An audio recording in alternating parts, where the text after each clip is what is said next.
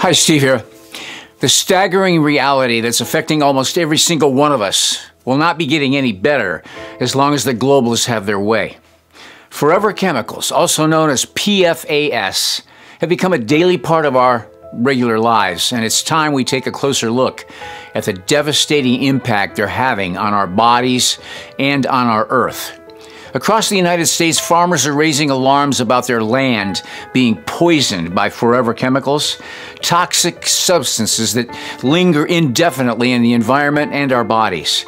The crisis is so pervasive that these chemicals are now found in 97% of human blood. Think about that for a minute. Almost everybody has this in their blood. Farmers are discarding milk tainted with these chemicals, which have been linked to cancer and other severe health problems, and in some cases are even euthanizing their cows to prevent further contamination. For some families, this threatens over a century of legacy, with roots dating back to 1914, putting the future of farming in jeopardy sounding the alarm on News Nation over forever chemicals. Multiple farmers now coming forward tonight saying their land is being poisoned.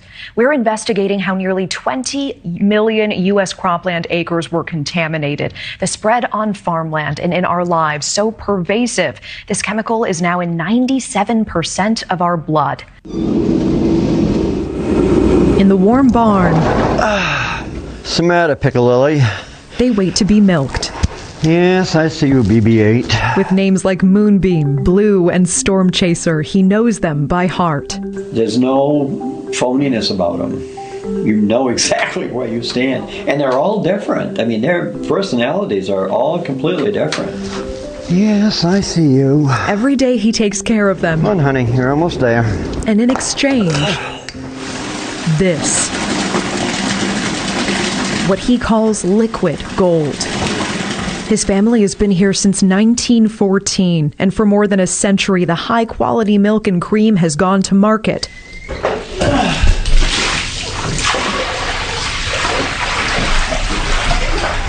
Now every drop goes down the drain.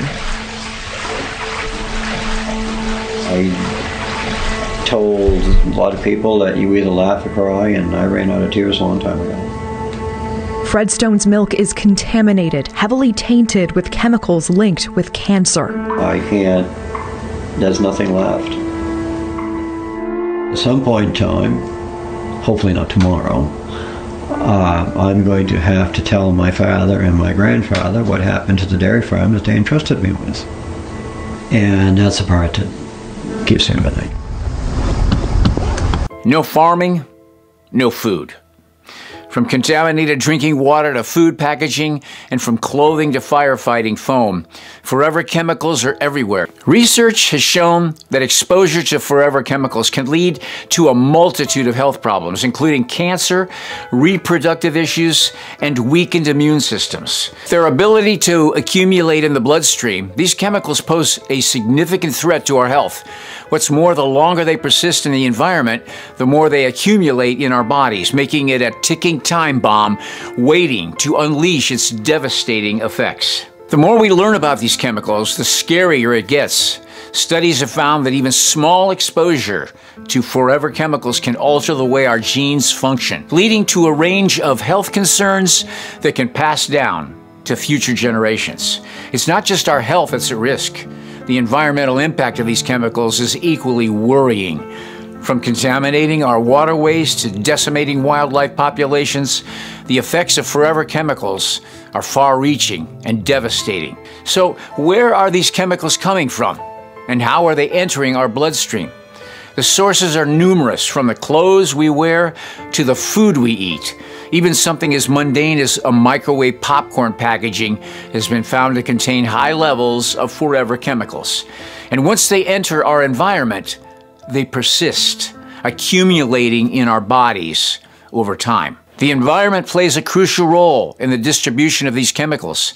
Rainwater and contaminated soil are just two of the many ways forever chemicals make their way into our food chain. And once they're in our bodies, it's almost impossible to get rid of them.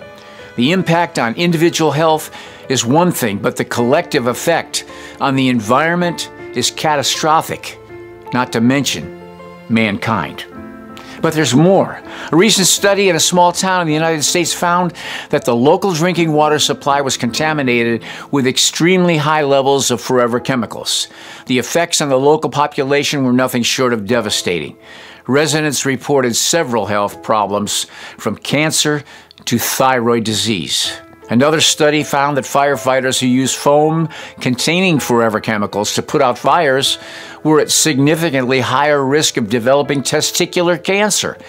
These findings are just the tip of the iceberg, and they're a stark reminder of the devastating effects of forever chemicals on human health.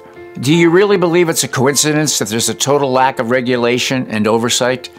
Despite the overwhelming evidence of their harm, forever chemicals continue to be used in a wide range of products. From non-stick cookware to food wrappers, it's a ticking time bomb, and it's only a matter of time before the full extent of their impact becomes clear. How many people have to die? The dangers of forever chemicals can't be overstated. From widespread contamination of human blood to the devastating impact on the environment, it's time we take action to reduce our exposure to these pollutants. We know we're being poisoned from the air we breathe, the water we drink, the food we eat, and these chemicals are being sprayed all over the earth. Never before in the history of mankind have we ever seen this kind of deliberate destruction against humanity. This must be why God said, The nations were angry but your wrath has come. The time has come for the dead to be judged, and to give the reward to your servants, the prophets, to the saints, and to those who fear your name, both small and great.